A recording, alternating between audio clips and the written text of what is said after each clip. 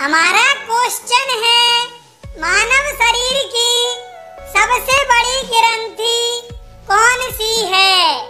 इसका सही जवाब है, मानव शरीर